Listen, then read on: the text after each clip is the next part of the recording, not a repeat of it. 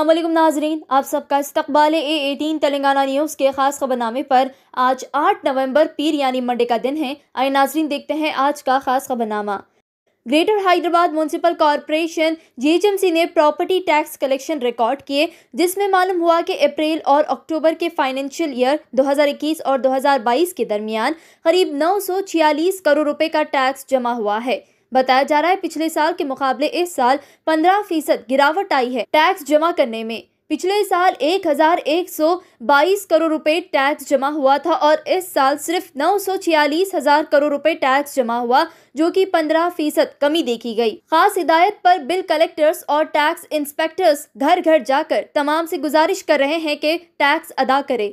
जो भी प्रॉपर्टी के मालिक है, वो सिटीजन सर्विस सेंटर पर टैक्स अदा कर सकते हैं या फिर ऑनलाइन मोड या फिर ई सेवा सेंटर पर टैक्स अदा कर सकते हैं, सीनियर ऑफिशियल्स ने कहा। 2015 और 2016 के दरमियान जीएचएमसी ने कुल एक करोड़ रुपए प्रॉपर्टी टैक्स जमा किए थे और 2020 और 2021 में 1600 करोड़ रुपए टैक्स जमा हुआ था। यानी अचानक से टैक्स की जमा होने वाली रकम में इजाफा हुआ। तेलंगाना रियासत में धीरे धीरे सर्दी महसूस हो रही है। तेलंगाना रियासत के वेदर रिपोर्ट के मुताबिक, सुबह के वक्त बादल छाए रहेंगे और सर्दी रहेगी। ग्रेटर हैदराबाद के इलाके में 16 डिग्री सेल्सियस रिकॉर्ड किया गया है। राजेंद्र नगर पर जहाँ सबसे ज़्यादा सर्दी है, और शाहपुर नगर में 32 डिग्री सेल्सियस रिकॉर्ड किया गया है, जहाँ सबसे कम सर्दी है।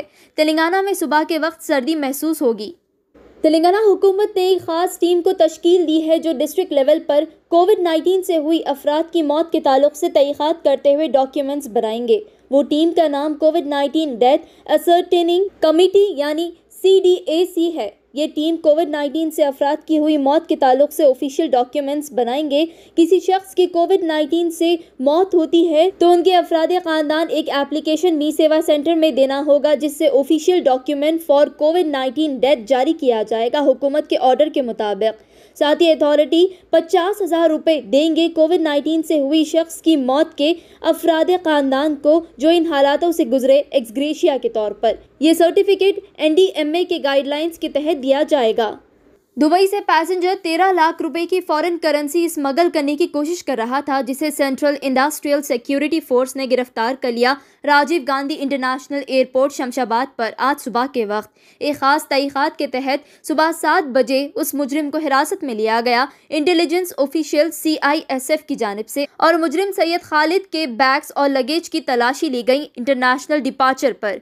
शक की बुनियाद पर खालिद को पकड़ा गया और खालिद के पास से पैंसठ हज़ार सऊदी रियाल जब्त किए गए, जो लगेज के कोने में छुपाए गए थे। हाल ही में तेलंगाना चीफ मिनिस्टर के चंद्रशेखर राव ने बीजेपी की हरकतों को नज़रों का धोखा करार दिया, जिसके बाद तेलंगाना प्रदेश कांग्रेस कमेटी के सदर ए. रेवंत रेड्डी ने सीएम केसीआर को कहा कि एक बार फिर सीएम केसीआर ने कोशिश किए तेलंगाना रियासत की आवाम को बेवकूफ़ बनाने की। बीजेपी के खिलाफ भड़काऊ भाषण देकर उन्होंने मीडिया को स्टेटमेंट देते हुए कहा कि सीएम केसीआर असली मुद्दे से आवाम को गुमराह करने की कोशिश कर रहे हैं। केसीआर और मोदी दोनों साथ है किसान बिल थ्री फार्म लॉ कानून को लागू करने। तेलंगाना हुकूमत ने सेंटर से कहा कि तेलंगाना रियासत के खेती बाड़ी में तब्दीली लाई जाएगी थ्री फार्म लॉ कानून के मुताबिक, जो पहले ही तेलंगाना के किसानों के लिए चेतावनी है। तेलंगाना कांग्रेस सदर ए. रेवंत रेड्डी ने कहा उन्होंने साथ ही सवाल किया कि क्या हुकूमत सही कर रही है पेट्रोल और डीजल के टैक्स पर गुस्से का इजहार करके?